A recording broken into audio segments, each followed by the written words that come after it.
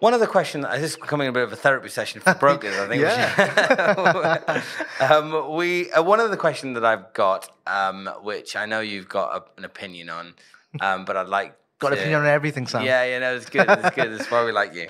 Um, admin fees to Yes. be paid to um, to brokers. Yes. Um, what What's your opinion on that? Should Should a borrower pay an admin fee? Um, so broker fees. broker Okay, so I mean, just for context for, for, for your viewers and listeners, even if you get charged a broker fee or you don't, lenders will always pay a procuration fee on the back end anyway. So brokers get paid regardless.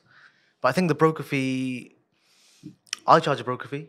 Um, I charge a broker fee. Good. And there's some brokers who don't, which is absolutely fine. However, I would potentially argue that potentially they are then either churning business because they they wait in three months to get paid, you know, if that. Um, they potentially might be more inclined to give you deals where they get a higher procuration fee because they want more money. Um, and thirdly, you know, you want to you as a broker, you want to value your time and, and your effort.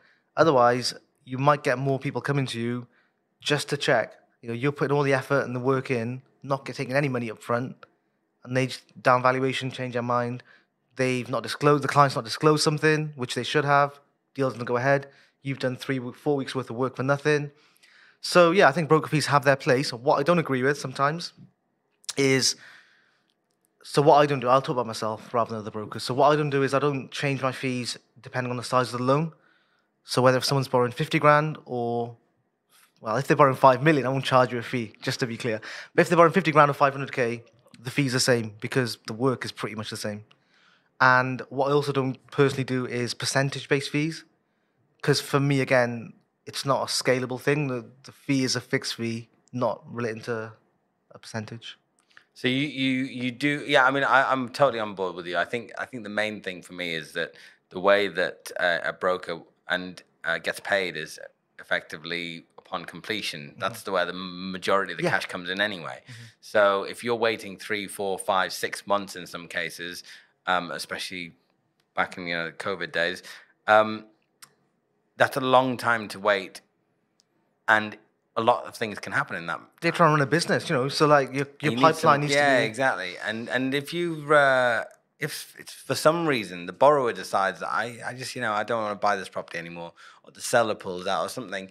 Unfortunately, you've done all that work, and if you've committed to let's say ten of these people, Yeah. and that's taken up your whole month, and that happens ten times, probably doesn't happen that way. But Yeah. imagine if it averages out over, you end up working and paddling very hard for very Yeah. little. I so, agree. so I think it's a small commitment for um, and what you can provide on I think what brokers can provide by charging that fee is is a little bit better service Yeah. because then you're less like heart palpitation. Is this deal going to happen or not? Should I just get one more client just to put them in the pipeline so they work on the uh, conversion rates? I mean, I've, I'll give you an example. I've had a, I had a WhatsApp earlier. So, because some people, are, some investors are very short sighted. Um, so I had a WhatsApp message at 7 a.m. Hey Shaz, heard about you, heard lots about you. I've got this massive portfolio. I've got two refinances.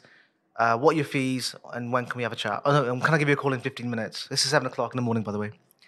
So I said, look, I, obviously, in terms of phone calls, I'd love to pre book a call. We'll sort that out. These are my fees. And then he replies, um, okay, yeah, sure, happy to book a call in. Let me know when you're free. Uh, in terms of fees, can you do it for free, please? Because there's lots of business on the table here. And I said, no, I don't work for free, thanks. Now, the point, the point I'm trying to make is I could do it for free, but if you went to a fee-free broker, there's loads out there, so Habito, Trussle, those kind of online fee-free brokers, landc.co.uk as well, worth every penny.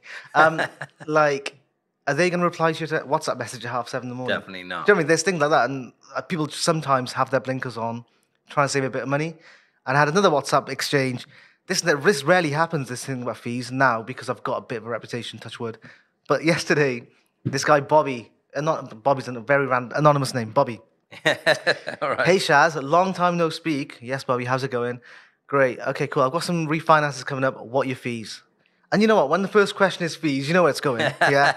what are your fees? Yes, Bobby. My fir- my fee is six hundred pounds for your first deal. Four hundred pounds thereafter. That's my fees, right? He goes, great. That sounds good. Any discount for the first one? And I said, no. There's discount for loyalty. and, Yeah. and he did like a laughing reaction on it. So uh, goodbye, Bobby. see, you, see you, Bobby. Yeah, Yeah. No. I, I, I just think that um, you get what you pay for, and if you get a good service, you get quality. Um, I think, and and we're talking not hundreds of pounds here. You know, in the grand scheme of things, these these um, these investors are making, you know, hopefully, you know, five, six figure Yeah.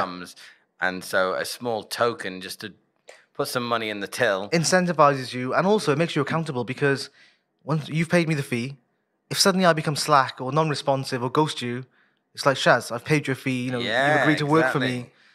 It's it's that it's a I think it's totally a game Yeah. changer. For me, I feel totally obliged to make sure that people get. have you know, ever have you ever done no fees as a, as a model in general?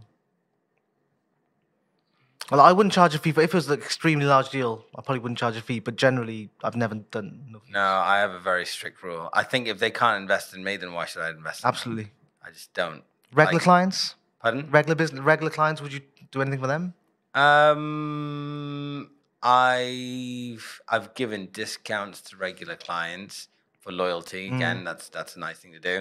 I've not charged them like to start the work because usually I've got that rule as Yeah, well. It's like, I'm yeah, just, yeah. like I've done all this work. It's all on a plate for you. Yeah. Right. We need to go to the application because I charge upon application. Yeah. Um, but I'm I normally just like right. I'm gonna wait for you to. To, to show commitment and you're ready to go, and then we'll do it. But for regular clients, I'll just like, look, let's just roll on. Let's yeah. get get I this done. freestyle. Regular clients kind of just freestyle. Yeah, exactly, and Because you've got that trust, and Okay, exactly. essentially you're you are the finance department of their property business, and that's how it should be. But I think I think generally, like, ah, I've got this fantastic client. I really one of my favorites. Um, they've just done this whole development, and uh, and it's a wicked, really designer apart hotel scheme. Nice. And they're like, you come and stay with us for free and stuff. And I'm like, no, Yeah. I want to. I, like, I don't mind if you give me a discount or something, but real friends pay. Business, yeah. Yeah, exactly. It's like, come on, let me, let me. You, you've worked your ass off to get Yeah. this thing sorted.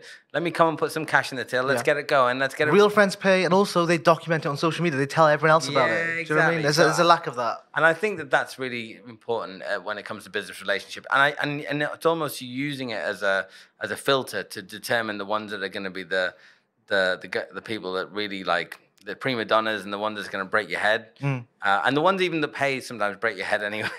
Yeah. So it may as well get some money in the till. But the Yeah. ones that don't, um, they're just looking for a free ride. And the chances are, we always say that we're very relationship driven. Mm-hmm. Chances are there's no relationship, there's no connection, and they'll jump from one broker to the next and they'll be shopping around Yeah. left, right, and center. It's just like, no. With regards to shopping around, so again, a lot of this rarely happens now, which I'm grateful for because it's less fluff if, in my inbox. But anytime someone even mentions or lets slip that they've got other brokers working on the same deal, I'm always like, okay, cool, I'll take a step back. There's no point Yeah, yeah, yeah. having two brokers on board. What's your Yeah, yeah, I, I totally agree. I think if if if somebody else has gone to if if they're unhappy with their broker, Then it's different, yeah, or if they Okay, what if it's a case of, hey Saam, um, my other broker Shaz has given me this deal. Do you mind having a look at it and see if you can beat the deal or beat the rate? if I know the other broker, Yeah. I'll I'll usually step away because Okay. it's like, what's the point? Yeah. Like I don't want. I'm not here to sh- shark other people's you know business. Um, but if I don't know them, they said, Saam, I've been to, I, I've got the. I'll say, send me the terms that you've got, and I'll try and match or beat them. Beat them. But I, I need full transparency on what you've got.